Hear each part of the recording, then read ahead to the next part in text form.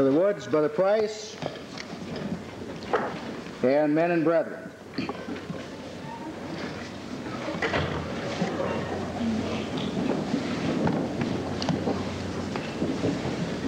My position is that the entire redemptive economy centers around the postulate that the Holy Spirit of God personally indwells baptized believers as a result of the remission of their sins. That a personal indwelling of the Holy Spirit blends perfectly with and is a demonstrated implementation of God's objectives as declared in the new covenant.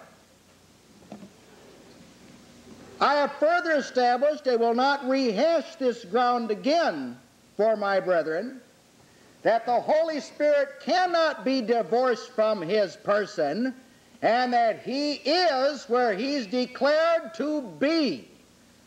Figuratively, bodily, however you want to add these additional words, they are not in the Scripture.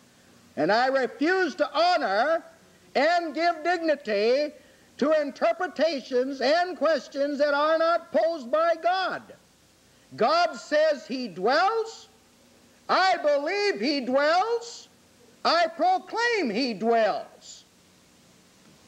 As to being filled with the Spirit, being, quote, a single shock filling, as these fellows believe, God knows, I know, and you should know that this is not the truth. I do not believe this. And uh, it is not to your advantage to identify me with other false modes of thought. You deal with what I said, not what other what people said. The Lord of the church, Jesus Christ, is called in Scripture the last Adam and the second man. There's a particular point of emphasis and principle here that directly bears on this discussion that I want to establish. He is, his, he is the last Adam in that he is the last of the necessarily cursed. He is the second man as he is the progenitor of the people of God, that royal priesthood of 1 Peter 2 9. Now, while there is a whole body of teaching associated with him being the last Adam, such as he made an end of sin and finished transgression and bore their sins in his body on the tree and so forth, I wish to focus my attention on the second man. 1 Corinthians 15 47. The second man is the Lord from heaven. This term second is not a chronological term, it's an argument for a new order of man, a new kind of man. To elaborate this definition, Jesus is said to appear in Scripture the second time, Hebrews 9 28. Actually, it's not a second time chronologically. He appeared numerous times after his resurrection, as is itemized in 1 Corinthians 15 5. He appeared first one time in the end of the world, and the second appearing shall be without sin unto salvation. That is a different kind of appearing. If you'll bear with me a moment more, the new covenant is called the second. Hebrews, the eighth chapter, verse 7. It is a second covenant, not by chronological count, but because it is a different kind of covenant. It is not according to the covenant which I made with their fathers, a different type of covenant. We read of a second death in Revelation 2:11, which is a different kind of death, everlasting destruction from the glory of the Lord and the glory of his power. Now Christ is the second man, a new order of man. This is a pivotal teaching in the gospel.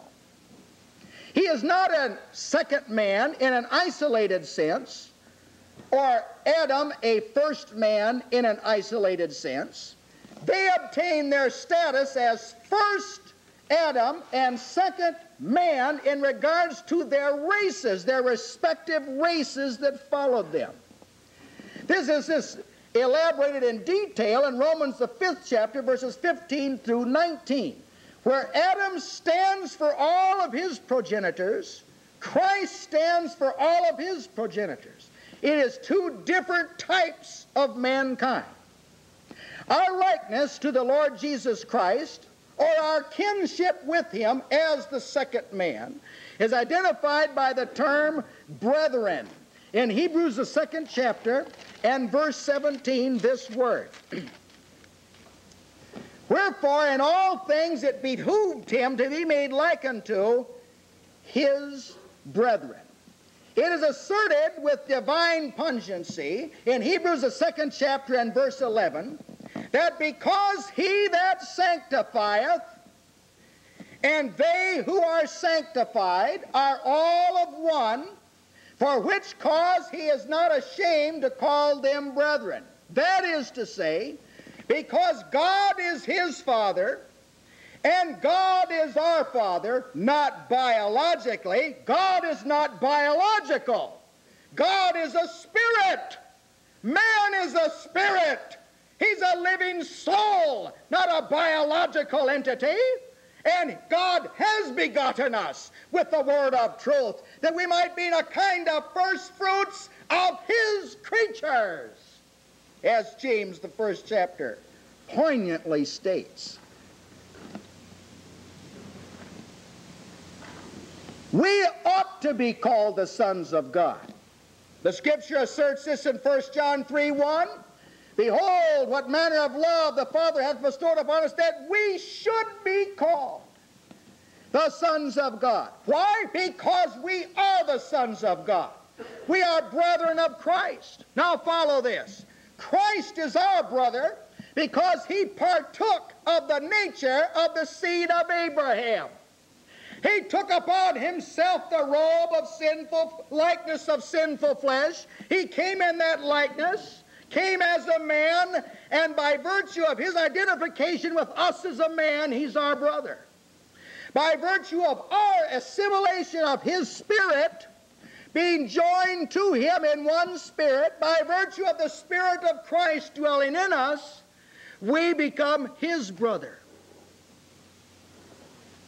Brethren of our Lord is a exact term. We are his brethren. We do have an earthly nature that's basically unreconciled, but more than that, we have received the spirit of adoption. The spirit of adoption cannot be received impersonally. He is a person.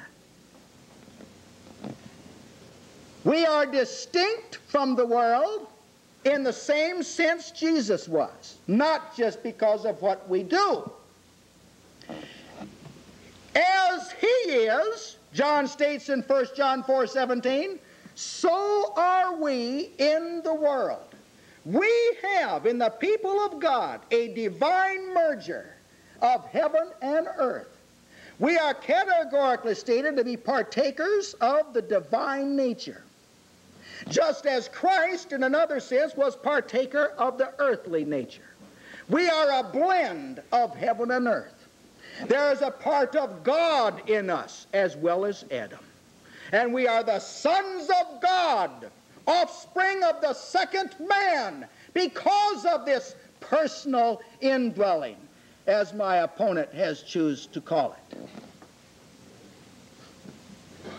If you deny the personal indwelling of the Spirit, it appears to me you are faced with the problem of denying the personal taking of the seed of Abraham. Was Jesus really a man or not? Was he not fully God and fully man with both natures remaining distinct? And am I not declared, and you as an obedient believer, to be a son of God? We are really sons of God, not because we have done something, because we are something. God's people are not what they are because of what they do, it's because of what they are. They have been joined to the Lord. He is their brother, and they are his brethren. This is what experientially separates us from the Adamic order. It's the treasure in an earthen vessel. 2 Corinthians 4 7. It's the bodies, our bodies, being temples of the Holy Ghost. Jesus is the firstborn among many brethren. Whatever sense, whatever sense he's the firstborn in, that's the sense you are the creation of God, according to James. You are not in the precise image of Christ, but you are being conformed to his image. Not by virtue of a moral reawakening, but by virtue of a spiritual conformity to the Lord Jesus Christ. Take that indwelling away, and no covenantal distinction exists. No substantiation of sonship or brethren. It is because ye are sons, Galatians 4 6, that God has sent forth his Spirit into your hearts, crying, Abba, Father. The inmost citadel of your person, your heart. The scripture says God sent his Spirit there because you're a son. And the presence of that Spirit attests that you're a son. I call upon you to believe that to receive what God has said about it. Either the Word of God is the sword of the Spirit or is it is not. Either I can take what God said and believe it or I cannot. I believe it, I exhort you to believe it. The indwelling is an extension of the second man. If it is not, Jesus has no generation. If he does not have an offspring like him, then the lament of Isaiah is true. He said in Isaiah 53 8, Who shall declare his generation? He was cut off out of the land of the living. He had no earthly progeny, no offspring according to the flesh but his offspring are innumerous. They are as numerous as the sands of the sea. There's an innumerable company that's going to be redeemed out of every kindred and tribe and tongue and nation and people that are his generation. It's being declared in the gospel. We are the sons of God. The Spirit in us attests that. How can you confirm you're a son without it? Hereby we know that we dwell in him, and he in us by the Spirit, which he hath given us. The likeness is spiritual, not external, not a mere change of habit. Spiritual refers to joining our spirit with the Lord. That, that text does offer a great deal of trouble, doesn't it? He that's joined to the Lord is one, one spirit. Now, an argument is founded on that, as our brother states. Know ye not that he which is joined to an harlot is one body? For two saith he shall be one flesh. That's the truth. Now you can explain it away all you want. It says that husband and wife shall become one flesh. Either they are or they aren't. Now you can conceive what you think one flesh means, but they're one flesh. That's what he said. It said of us with Jesus, using that precise terminology, we are bone of his bone and flesh of his flesh. They were brought together. We are one spirit. We're, the joining is the emphasis, not the means, the joining. We have been joined to the Lord. I affirm that. And the Holy Spirit bears witness to it also, to your spirit. Or can man, utilizing his natural resources, accomplish spirituality without being joined to the Lord? Or is joining to the Lord another one of those figurative or metaphorical things. Has redemption really wrought something or has it not? In the gospel, have people been reconciled to God and can they draw near to God? And does water flow out of their belly? Does out of them come the Holy Spirit as John interprets in 1 John 7 39 or does it not? This is the reason for the appellation that Jesus is the beginning of the creation of God, Revelation 3:14, because he has a whole generation, bless God, of sons that are like his son. In measure, each one partaking in measure of the Spirit of Christ. He is the first of a new and distinct order, an order which my opponent repudiates by asserting that the Holy Spirit does not actually bodily, literally, or in his own person dwell in the individual Christian. Uh, Christian. Now, brethren, the question is not, does the Spirit dwell in us bodily? That's not the question posed in Scripture, and you will pardon me if I say that that's an improper question. The question is, does he or does he not? That's the question. If any man have not the Spirit of Christ, he's not of his. The question isn't how he dwells, it's if he dwells. If he's in you or not. If he's not, you're not a son. If he is, you are. Now I insist that you can work that out with fear and trembling before the Lord without theological modifications. We need to elaborate more here that man's spirit and God's spirit are compatible. Man is made in the image of God. In his likeness created he him. That image still remains. He is the ex, he is the image of God's person. 1 Corinthians 11, 7 founds an argument on that, as well as Genesis, the ninth chapter, verse 6, where capital punishment uh, was instigated because man was made in the image of God, and whoso sheddeth man's blood uh, was to be killed. That image is inherent, has an inherent capacity to be joined to the Lord. Man is unique. He is not like a, any other creation. The concept of an image includes not only likeness but capacity. That is, man not only bears a likeness to God in his powers of reason and in his powers of analysis, so to speak, but he has a capacity to fellowship with and be joined to the living God.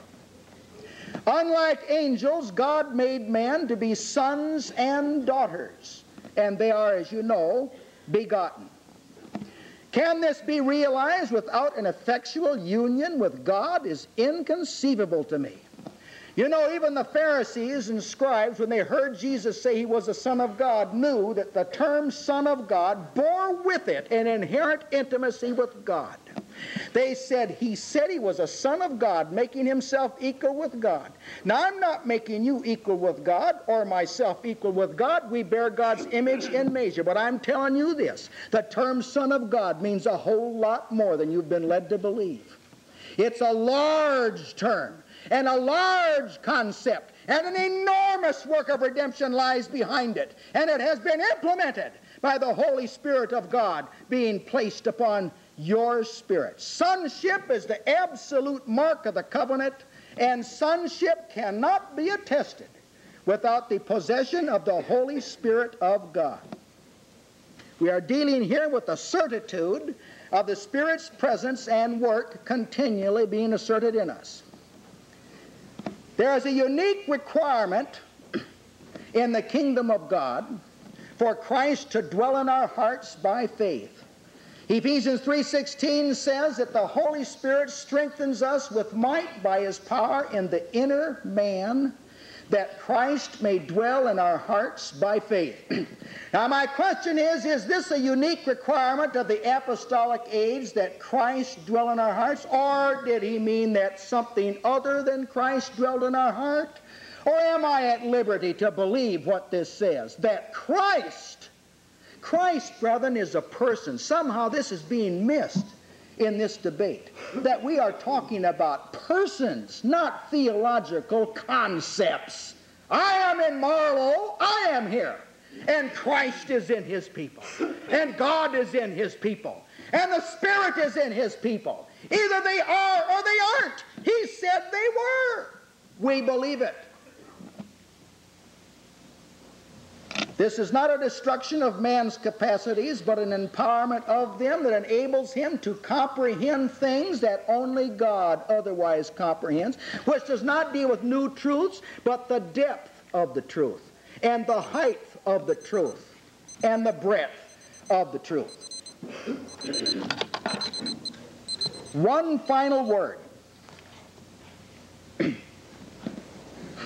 Is the written word of God more powerful than the incarnate Word of God. Jesus Christ said, The words that I speak unto you, they are spirit and they are life. John 6 63. It's inconceivable that any other words could have more power than the words of our Lord Jesus Christ. When he spoke them to his disciples, some of the simplest of, of sayings were undiscerned by them.